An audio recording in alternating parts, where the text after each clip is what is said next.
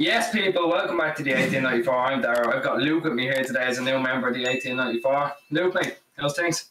Good, mate. Thank you. How are you? You alright?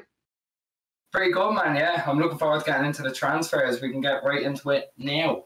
So, first piece of news comes out from Ekrem Konur saying that Man City will meet with Borussia Dortmund about Erling Haaland. City already has paid about 130 million to get him into the club.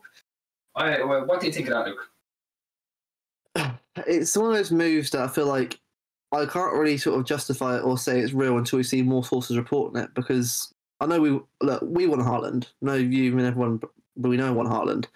But it's one of those deals where like, I probably have to see a bit more development before we actually believe it. I mean, if it ha- if it's true, brilliant. Because I think we need Haaland more than anyone.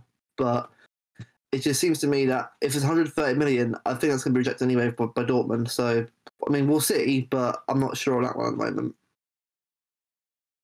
Same you. know, It's it's one of which, if it comes out from what I saw, you'll start to believe it. But the one thing I can believe is that City want Haaland. You know, they'll want Kane, they'll want Haaland, they'll want one of the two because we need an extra goal scorer to come in instead of, you know, we've lost Sergio Aguero. Torres isn't probably not ready yet. And uh, Gabby is still inconsistent. So, you know, I can see a bit of truth to this. I can see why Pep would tell them to meet up but we're going to have to wait for more sources to come out with that. Right, so another transfer saga I'm sure you're all sick of by now. It's Harry Kane. There's been multiple things have come out. It's believed that apparently City are still very serious with the Kane deal and they're going to put in more than their 100 million starting offer. That's from Eurosport. Um, uh, what do you think of that, Luke? Yeah, I mean, it's one of those deals of people that's going to keep going on and on this summer until we actually he, he gets back from holiday, actually, he actually does his, tells his desire to leave because all I'm seeing is the same stories over and over again about us being linked with him, us being offering a hundred million for him, and it's just a bit mixed at the moment. I mean, I like to sort of see where it goes with it. I mean, I'm sure I'm sure there's there's an element of truth in that, but I don't think we'll get much development on that probably until I reckon towards the end of the month. It's going to be a long one, unfortunately, which is a shame, but I think it will be, which is really annoying. Yeah, that bit of Kane news that came out, Romano had a quote saying that we will have to break the bank, which I think is fairly normal. You know, I think that's going to happen when we have to sign such a high caliber player as Kane. And then Duncan Castles from Transfer Podcast said that there's already been a hundred million offer for Harry Kane, and that we are also working on a Jack Grealish deal, which we'll talk about later. But Harry Kane, you know, I think everyone would be happy if he comes in. If you don't get, if you don't get like an out and out goal scorer it's probably going to be a long enough season for City anyway. So, you know, a bit lucky get any striker, but mate, hopefully not the one we're about to talk about. Right, so the report we said didn't want to happen. Antoine Griezmann. There's been two saw. There's been uh, two things from Mundo Deportivo to say that apparently Man City are eyeing Griezmann as a backup for Kane, not a backup for Kane, as an alternative to Harry Kane. And um, I think a day later came out that official Man City sources have flatly denied that the club are interested in Barcelona player Antoine Griezmann.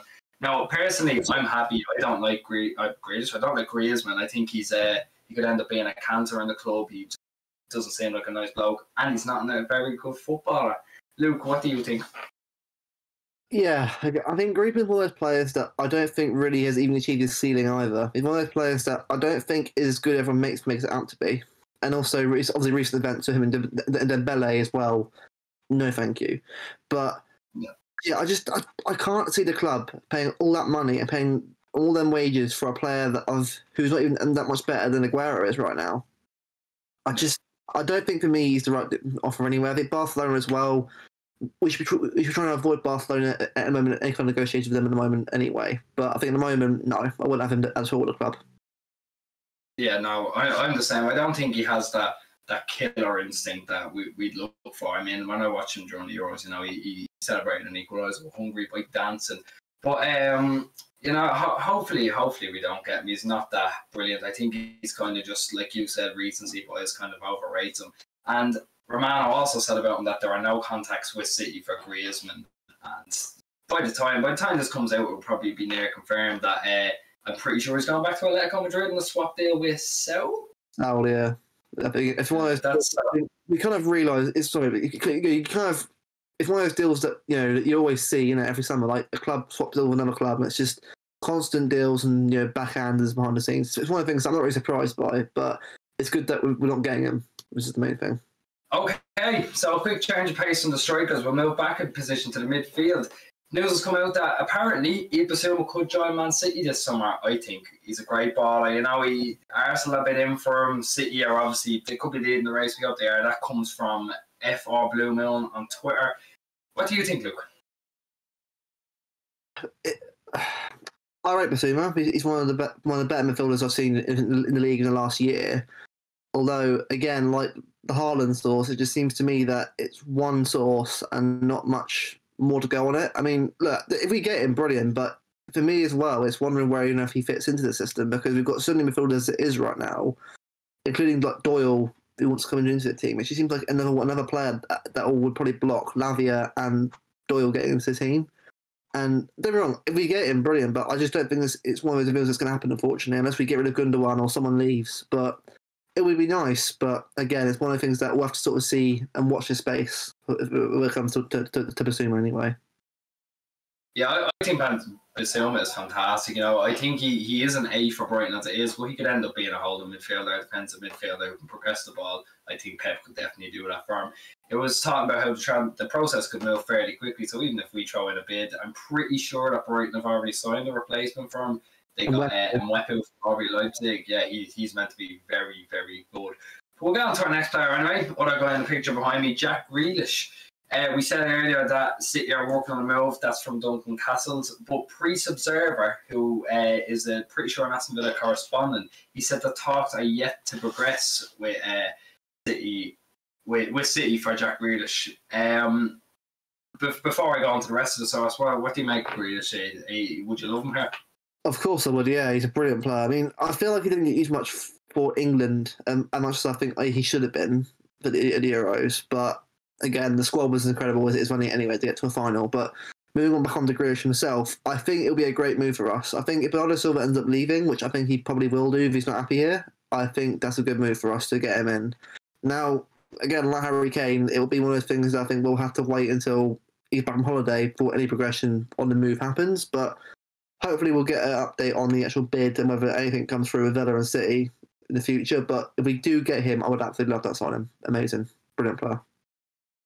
Great, Grealish, like you, you know what we what we mean. If if we don't sign Kane, he can play the first nine, he play anywhere across the front three. It seems you can drop back into the midfield. I think it'd be a superb signing, really.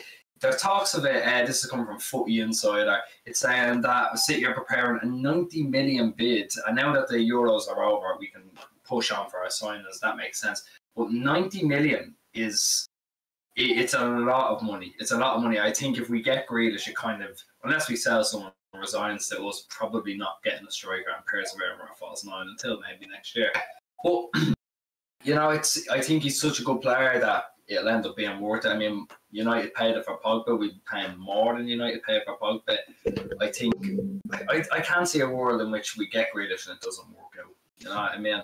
So that's all the news for today. We're going to keep you updated as we get it. Just something that I'd like to put out there. We're getting very, very close to 300 subscribers. So like, share around, comment, do whatever. Just any help would be appreciated. So yeah, thanks very much for watching and we'll see you in the next one.